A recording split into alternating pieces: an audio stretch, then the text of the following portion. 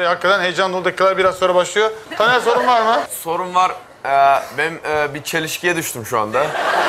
Şimdi ilk başta e, zıpkın ödülünü kazandıktan sonra Evet. Nihat ta demiş ki Derya ben balık tutarım demiş galiba. Ben onu duydum.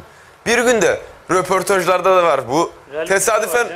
Tesadüfen ben Derya'nın yanından röportaj sırasından geçerken şöyle bir şey duydum ve acayip tuhafıma gitti. Ya dedi bende hayvan sevgisi olduğundan dolayı ben balıkları vurmuyorum dedi. Şimdi bu çelişkiyi e, meydana getiriyorum. Hatta röportajınız da var. Ben tam röportajın yanından geçiyordum. Bunu duydum şok oldum. Şimdi Balıkları ilk başta vurmaz, balıkları yer o. İlk başta hem balıkları yemeye gelince de yiyor. Yani bu şimdi balık anlamadım olay yani. Peki Derya cevabın var mı? Ben inanılmaz derece hayvan severim. İnanılmaz derecede.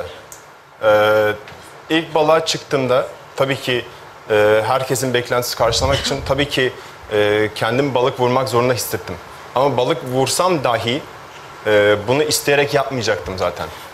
Gerçekten yapmayacaktım. Çünkü ben e, bir, e, bir hayvanın canını alamam. Böyle bir insan değilim. Ya Derya en çok Taner'in vurduğu balığı en fazla sen yedin Allah ya. ya. Açıklayacağım Allah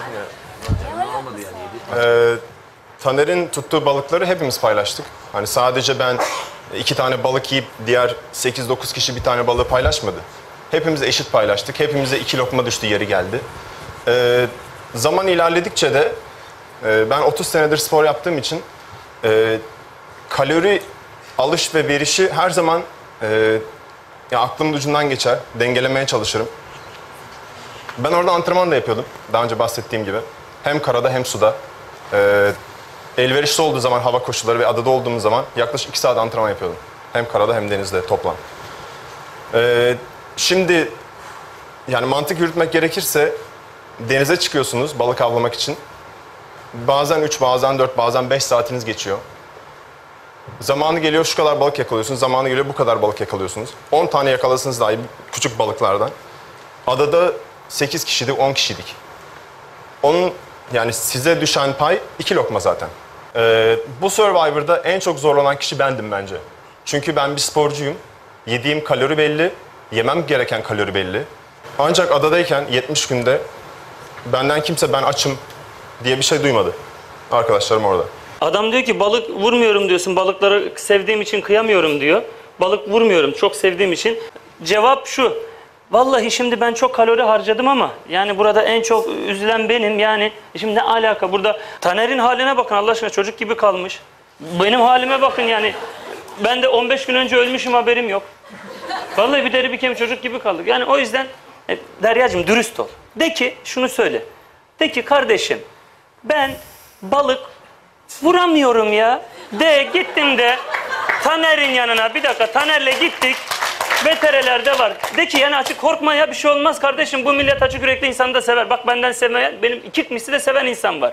Şimdi şunu söyle de ki ben Taner'le balık tutmaya gittim. Taner bir gün bir köpek balığından korktuğu için beni çağırdı. Dedi ki Derya gel başımda dur. Ben de iki saat Taner'in başında ayakta Kur'an çarpsın. Kayalıkların üstünde zıpkınla köpek balığı bekledi Derya.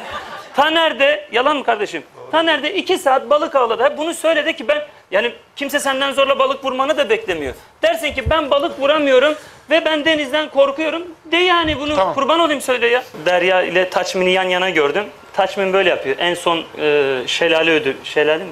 Şelaleye gitmişler. Taçmin. Derya abi. Efendim Taçmin. Şimdi tabii ki biliyorum Nihat sana, Nihat abi sana yalvardı.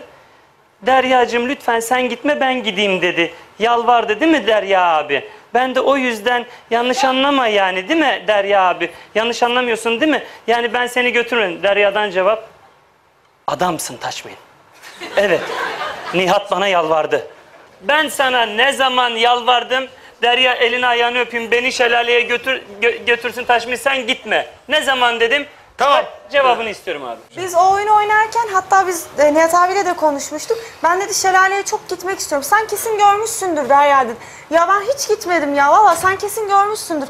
Bunun tarzı oldu. Bizim de Derya abiyle aramızda adamsın lafı diye bir espri var. Her bir şey olduğunda Hayır hayır, mesele o sürekli değil. Ben adamsın Derya'ya ne zaman Derya Allah aşkına sen gitme de kurbanın olayım sana yalvarıyorum ben gideyim dedim. Oyun esnasında diyordun Derya, ya. der Taşmacık demedi. sorum sana değil. Ben Demedi. öyle bir şey demedim. Demedi. Taner de orada. Ben İşte Demedi, bak. yanım- Dediğin yanımdaydım, duyduğum demedi. şeyi söylüyorum Taçmenciğim sadece. Demedi. bana afaki işler anlatmayın. Mişe mişe girme abi. Kardeş ben gördüm demedin. ya? Dış görünüşe Bir bakmayacağım dakika bazen. şimdi. o Dış işi bak- görünüşten Türk halkı Taner'cim, bir efendi bir dakika. şey gibi görüyor ama Derya da- öyle de değil.